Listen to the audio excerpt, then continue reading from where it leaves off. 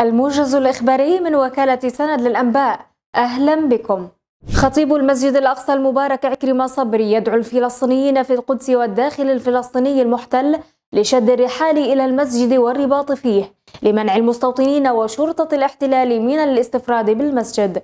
سلطات الاحتلال تخطر مساء أمس الجمعة بهدم ستة محلات تجارية في قرية أم ريحان جنوب جنين والمستوطنون ينصبون أربعة بيوت متنقلة في أراضي المواطنين بخربة زنوتة شرق بلدة الظاهرية جنوب الخليل.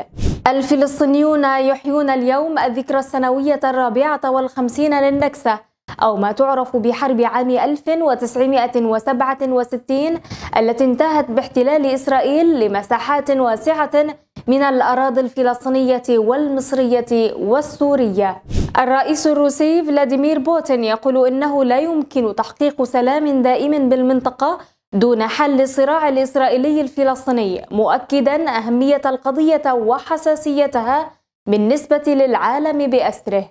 إدارة سجون الاحتلال الإسرائيلي تفرج يوم غد الأحد عن أقدم الأسرى الأردنيين وهو الأسير عبد الله نوح أبو جابر 44 عاما من مخيم البقعة بعد أن أمضى في الأسر 20 عاما ونصف العام من الاعتقال.